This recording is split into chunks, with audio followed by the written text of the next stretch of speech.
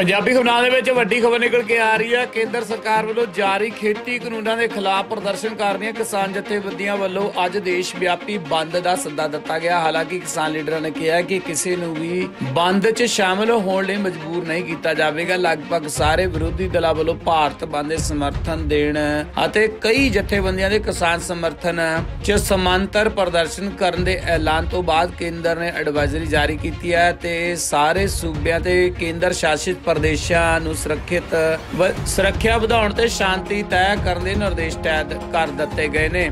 ਸਾਰਿਆਂ ਨੂੰ ਸੰਕੇਤਕ ਬੰਦ 'ਚ ਸ਼ਾਮਲ ਹੋਣ ਦੀ ਅਪੀਲ ਕਰਦਿਆਂ ਹੋਇਆ ਕਿਸਾਨ ਲੀਡਰਾਂ ਨੇ ਕਿਹਾ ਕਿ ਆਪਣੇ ਪ੍ਰਦਰਸ਼ਨ ਦੇ ਤਹਿਤ ਉਹ ਸਵੇਰੇ 11 ਵਜੇ ਤੋਂ ਦੁਪਹਿਰੇ 3 ਵਜੇ ਤੱਕ ਚੱਕਾ ਜਾਮ ਰੱਖਣਗੇ, ਇਸ ਦੌਰਾਨ ਪ੍ਰਮੁੱਖ ਸੜਕਾਂ ਜਾਮ ਕੀਤੀਆਂ ਜਾਣਗੀਆਂ। ਪ੍ਰਦਰਸ਼ਨ ਦੇ ਤਹਿਤ ਉੱਤਰੀ ਸੂਬੇ, ਖਾਸ ਕਰ ਪੰਜਾਬ, ਹਰਿਆਣਾ, ਉੱਤਰ ਪ੍ਰਦੇਸ਼ ਤੇ ਦਿੱਲੀ ਦੇ ਕਿਸਾਨ ਸੜਕ ਦੇ ਉੱਪਰ ਉਤਰੇ ਨੇ। ਕਿਸਾਨ ਲੀਡਰ ਰਕੇਸ਼ ਟਕੈਤ ਨੇ ਕਿਹਾ ਕਿ ਸਾਡਾ ਬੰਦ ਸਿਆਸੀ ਦਲ ਤੋਂ ਵੱਖ ਹੈ ਤੇ ਇਹ ਵਿਚਾਰਧਾਰਾ ਕਰਨ, ਕਾਰਨ ਕੀਤਾ ਗਿਆ ਤੇ 4 ਘੰਟੇ ਜਾਂ ਫਿਰ ਸੰਕੇਤਕ ਬੰਦ ਹੈ। ਅਸੀਂ ਚਾਹੁੰਦੇ ਹਾਂ ਕਿ ਆਮਾ ਆਦਮੀ ਨੂੰ ਕੋਈ ਪਰੇਸ਼ਾਨੀ ਨਾ ਹੋਵੇ। ਅਸੀਂ ਲੋਕਾਂ ਨੂੰ ਇਸ ਸਮੇਂ, ਇਸ ਦੌਰਾਨ ਯਾਤਰਾ ਨਾ ਕਰਨ ਦੀ ਅਪੀਲ ਕਰਦੇ ਹਾਂ। ਉਹਨਾਂ ਅੱਗੇ ਕਿਹਾ ਕਿ ਅਸੀਂ ਦੁਕਾਨਦਾਰਾਂ ਨੂੰ ਵੀ ਇਸ ਦੌਰਾਨ ਆਪਣੀ ਦੁਕਾਨ ਬੰਦ ਰੱਖਣ ਦੀ ਅਪੀਲ ਕਰਦੇ ਹਾਂ ਭਾਰਤੀ ਕਿਸਾਨ ਏਕਤਾ ਸੰਗਠਨ ਦੇ ਮੁਖੀ ਜਗਦੀਸ਼ ਸਿੰਘ ਨੇ ਕਿਹਾ ਕਿ ਸ਼ਾਂਤੀ ਬਣਾ ਕੇ ਰੱਖਣ ਤੇ ਲਾਗੂ, ਬੰਦ ਲਾਗੂ ਕਰਨ ਲਈ ਕਿਸੇ ਨਾਲ ਝਗੜਾ ਨਾ ਕਰਨ ਦੀ ਅਪੀਲ ਕੀਤੀ ਹੈ ਤੇ ਉਹਨਾਂ ਨੇ ਕਿਹਾ ਕਿ ਬੰਦ ਦੌਰਾਨ ਐਮਰਜੈਂਸੀ ਸੇਵਾਵਾਂ ਨੂੰ ਪੂਰੀ ਤਰ੍ਹਾਂ ਛੋਟ ਮਿਲਦੀ ਰਹੇਗੀ। ਤੇ ਤੁਹਾਨੂੰ ਦੱਸ ਦਈਏ ਕਿ ਪੂਰੇ ਪੰਜਾਬ ਦੇ ਵਿੱਚ